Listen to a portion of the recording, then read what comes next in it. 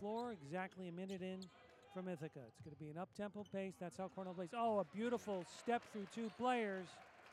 Three with and Nazir Sydney. Rebound red. They come down with Dolan. Ragland. He's fearless. Three-pointer. Captain Five Lee Fenton, number four, is into the game. He has it at the baseline through it.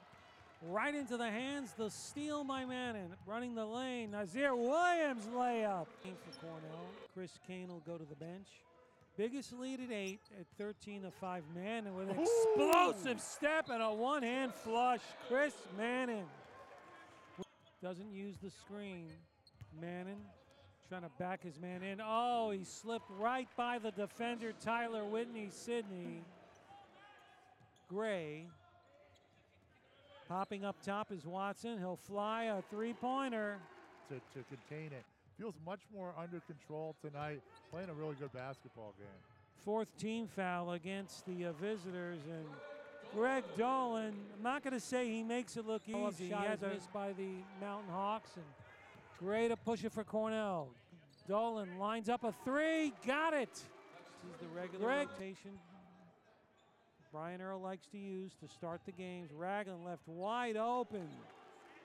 Buries a three. Cornell, Red's gonna push it left to right in the second half. Manning, Chris Kane, his first three of the season. He's got that one. Here comes Dolan. Little behind the back bounce. Watson dials up, buries that one. Rebound Dolan. Here come the red. Under 10 to play. Boothby will try for number two. High arching shot. A great body Didn't on him for, for sure. You know, looks like he's continuing to learn and, and, and understand the game, but big big time potential. Fearless Keith Higgins. Season high 21 points. His second three, but answering back is a three ball for Cornell as they completely took over the game in the opening two to three minutes and run away from Lehigh.